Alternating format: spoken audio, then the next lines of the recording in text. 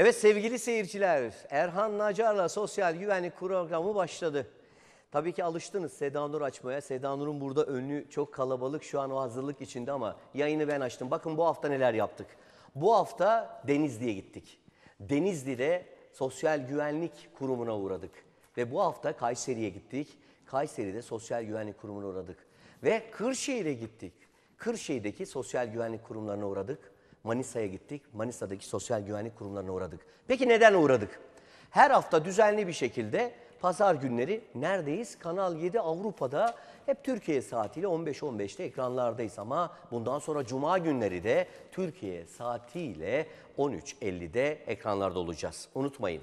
Avrupa'da yaşayan vatandaşlarımız cuma günleri Türkiye saatiyle 13.50'de ekran başında olsun. Çünkü cuma günleri de artık pazar günü yetişmeyen soruların cevaplarını orada veriyoruz. Ve ilginçtir her pazartesi, her çarşamba ve her cuma akşamları Flash TV'deyiz. Türkiye saatiyle gene gece 24'te Avrupa saatiyle 23'te oradayız. Peki orada ne yapıyoruz? Yine sizlerden gelen sorulara cevap verdiğimiz gibi Kanal 7 Avrupa ekranlarında sizlerden gelen sorulara cevaplar vermede biraz sıkıntı yaşıyoruz. Bakın daha hemen çalmaya başladı iletişim numaralarımız. Çünkü ekranın alt taraflarında sizlere soruları nasıl soracağınız belirtildi.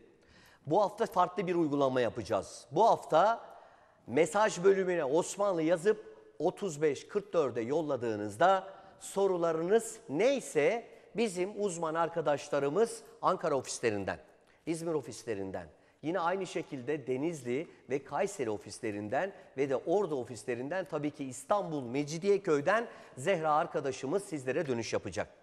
Biz salı günü Almanya'ya gidiyoruz ve Fransa'ya gidiyoruz. Kiminle gidiyoruz? İzmir bölge temsilcimiz, sosyal güvenlik uzmanı Doğan Temel kardeşimizle beraber salı günü buradan Fransa'ya uçuyoruz.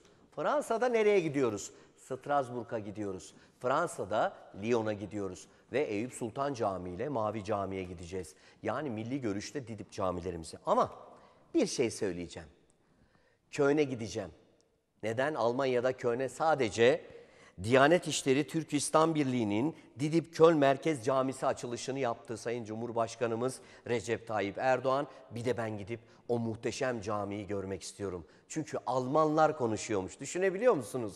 Almanlar sırf o camiyi görmek için gidiyorlar. İşte ibadethanemizin bulunan yerinde belki biz de bulunacağız. Dilimiz sürttü ama çünkü çok konuşuyorum. Bugün Kayseri'de bir çekimimiz oldu. Kırşehir'de bir dakika yaklaşık onu göstereceğiz. Kaman'da aynı şekilde.